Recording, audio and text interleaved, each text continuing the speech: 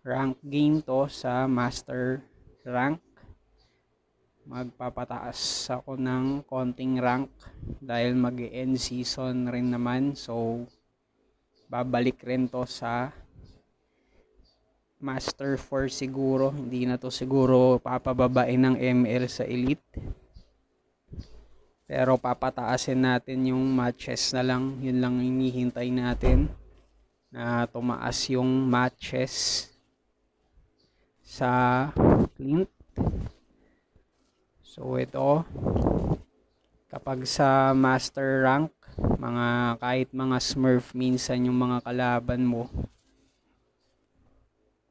hindi na rin sila nagja-jungle dahil patagal lang.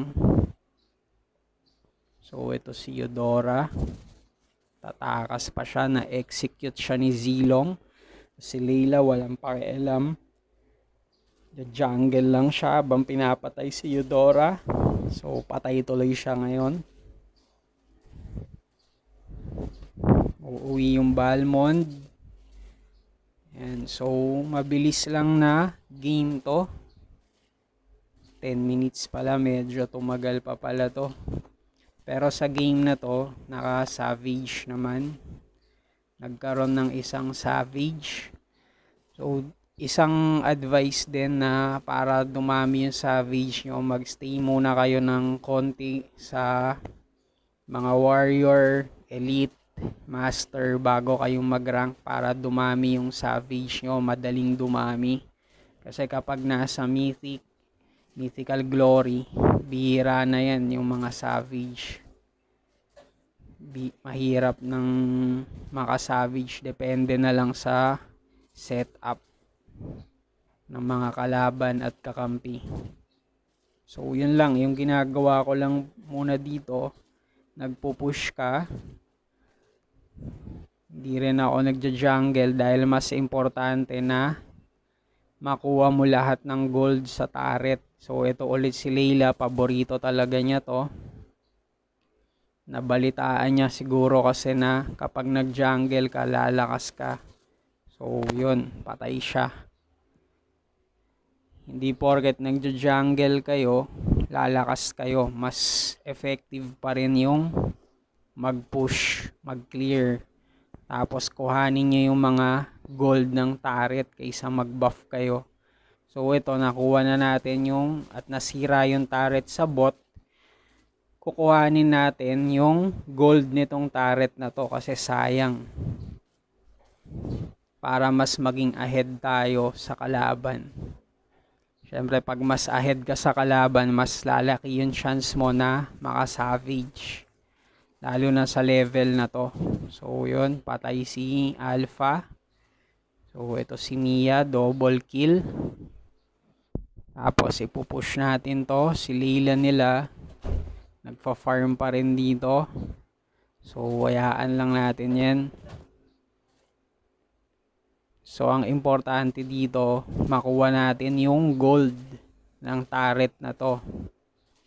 Kasi pag nakuha natin yan, magiging ahead tayo sa kanila sa gold, makakabili ka ng equipment ng item.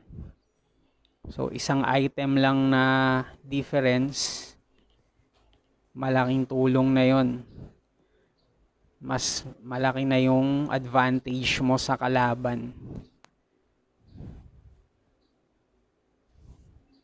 So, ayan, ito yung zilong namin. So, andito na ako. Patay siya. Napatay silang dalawa ng zilong. Nasira na ni Leslie yung turret sa top. Kaya tayo naman, ito nung turret na to yung kukuhanin natin, yung gold nito. Sayang, bago mag-expire. Kasi after 5 minutes, mawawala na yan. 5 minutes yata bago mawala. So 4.45 na. Pero nakuha ko na. Kaya lamang na tayo sa gold. 4.5 na yung gold ko. Patay na tuloy si Eudora at si Mia. So yung gold ko dito 4.8 na. Kaya may item na ako kumpara sa kanila. So, pupunta sana ako kay Alpha sa top pero mas maganda kung unahin mo yung turret para extra ulit na gold.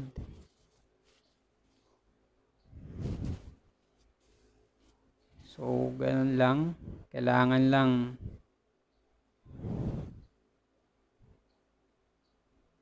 lagi lang kayong ahead sa kanilang magpa-level up para mabilis nyo lang rin silang mapatay.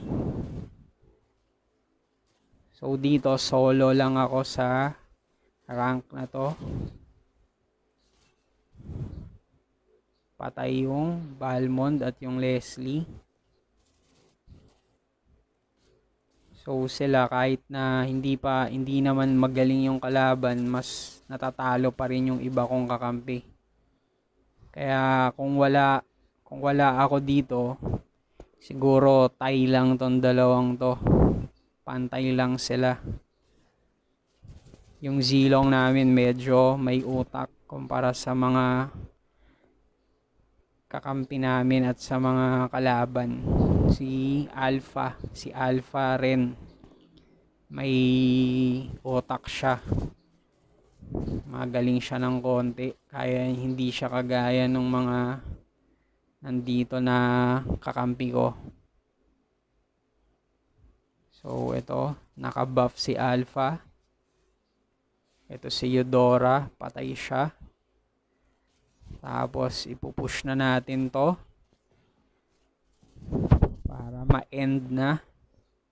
Ito si Mia. Sabog siya. Nakuha siya ng Leslie. Ito yung Alpha yung Balmond. Basta gamit ng gamit ng SS niya or ult niya. Hindi niya alam na dapat gagamitin yon kapag tera-tera na yung, yung kalaban. So ito pinupush na namin yung turret. So si Leila, dito pa rin siya, nag-jungle pa rin siya. Umaasa pa rin siya na lalakas siya, kaka-jungle niya. So ito yung paborito niyang spot. Yun yung nabalitaan niya. So patay. Patay din. Double kill. Triple kill. Tapos, ito yung Leila, Maniac. Tapos yung Eudora, Andito lang siya, ayaw niya lumabas. Madamot siya, ayaw niyang magpa savage. So, kaya minyak lang yung nagawa ko nung time na yon. So, di bali naman, magre-respond ulit sila ng mabilis. So, unahin natin tong alpha dahil ito yung may utak sa kanilang lima. So, ito, pangalawa yung zilong, patay siya. Tapos, halapitan natin sila. Ito yung Mia. So, patay siya. Natutunaw sila. Nasira ko na rin yung turret. Uwi muna ako para mag refresh ng buhay sa kanang mana. Dahil walang konti lang yung damage ng basic attack ko. So ito nakapush na yung mga kakampi ko. So, magbabuff muna. Yung blue buff para konti lang yung consumption ng mana para hindi agad maubos. So ito pataas muna para makakuha ng meron na pala last na ano na pala to item. Twilight Armor. So to yung Layla patayin natin siya. Yung Eudora.